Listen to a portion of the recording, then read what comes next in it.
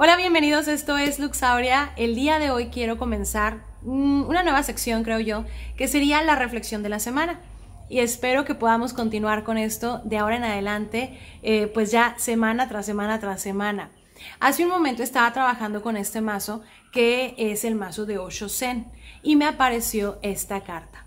me llamó mucho la atención porque yo estaba leyendo a San Agustín y había una frase que decía, debemos vaciarnos de aquello de lo que estamos llenos para poder llenarnos de aquello de lo que estamos vacíos. Entonces me dije, esto no puede ser coincidencia, aquí hay un mensaje importante y es un mensaje que yo quiero compartir con ustedes. Esta carta nos puede dar miedo. ¿Por qué? Porque es toda oscura y luego la palabra vacío y generalmente lo asociamos con la nada, con lo que no sé, no sabemos qué hay ahí, ¿no? No sabemos qué hay en ese vacío. Pero en otros mazos está relacionada con el hierofante, con el sacerdote. Entonces hay que hacer conexiones. Y precisamente de esto va esta carta, de conectar, de ser capaces de conectar con nuestra dimensión espiritual. Al llamarse vacío, creo que en muchas ocasiones algo que nos pasa a todos es que no somos capaces de recibir estamos cerrados, estamos bloqueados. la abundancia, las bendiciones, los regalos que vienen del cielo están ahí todo el tiempo. Estamos vivos, aquí y ahora. Estamos conectando, estamos observando, estamos tocando, estamos sintiendo, estamos aquí. Y la vida es valiosa. Pero en ocasiones estamos tanto dentro de nuestro drama emocional en el me hicieron o hice, en el me arrepiento, en el pero ¿por qué a mí?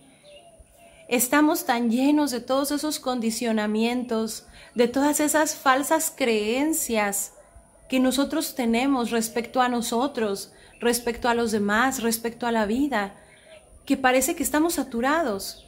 Y entonces, ¿cómo vamos a ser capaces de recibir todo lo bello, todo lo bonito que deseamos. Decimos, deseo ser alegre, deseo tener alegría y dicha en mi vida, pero estoy llena de dolor, estoy llena de resentimiento, estoy llena de frustración. ¿Cómo puedo recibir esa alegría si aún no me he vaciado de todo aquello que ya no necesito en mi vida? No se trata de negar esas emociones, no se trata de bloquear, de reprimir, se trata de observarlas, se trata de comprenderlas, se trata de comprendernos a nosotros mismos y de darnos cuenta de que esas emociones que están ahí, que nos duelen, porque a nuestro ego le duele, están ahí por algo, para que hayan sido experimentadas, aprendidas y después para que las dejemos ir porque en esta vida nada es permanente. Todo, todo constantemente está cambiando. Y a veces es tanto el miedo de nuestra mente de aceptar cosas nuevas, de aceptar este hecho de que nada es permanente, que se aferra en pensamiento a esas situaciones, por más dolorosas que, que estas puedan ser es extraño, es incongruente. ¿Por qué nuestro cerebro, por qué nuestra mente se aferrará a, esas, a esos pensamientos que nos causan dolor? Entonces, ahí es cuando yo les invito a poner silencio en esta mentecita para que estas emociones se calmen y podamos escuchar nuestra voz interior. Podamos escuchar ese maestro, esa maestra interna que tú ya tienes, que puedas escuchar a tu alma, porque lo que tu alma hace y desea realmente, más allá de toda esa historia y ese drama personal, más allá de todo ello, es conectar con la dimensión espiritual, con Dios, con el gran misterio, con esta inteligencia cósmica, como tú le quieras llamar. Y todos tenemos este poder, pero no estamos listos para recibir porque estamos llenos. Entonces, aquí digamos que el secreto que te están diciendo es primero vacíate de todo lo que eres. Vacíate de toda esa historia personal. ¿Para qué?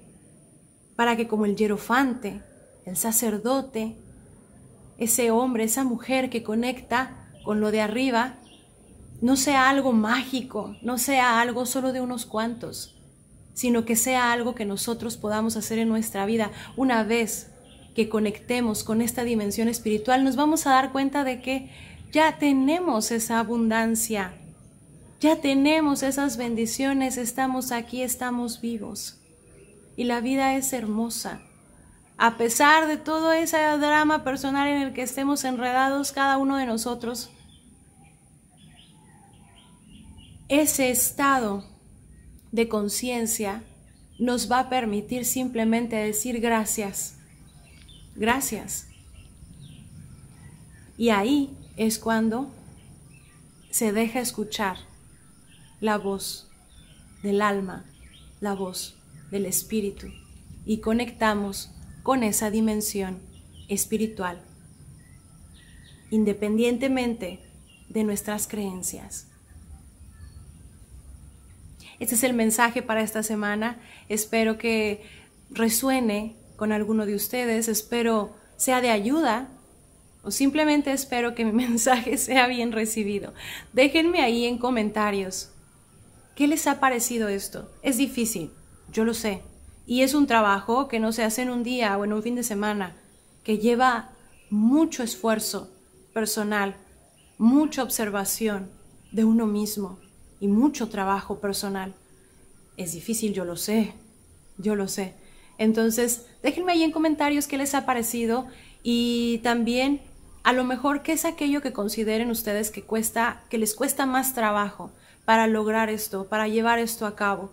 Y pues bueno, trataremos de, con los comentarios que ustedes me vayan dejando acá, como con algunas de las publicaciones que están en la comunidad, ir haciendo estos videos semanales para quedarnos como reflexionando en algo que tenga que ver con nuestro crecimiento personal. Muchísimas gracias a todos y mucha luz para todos.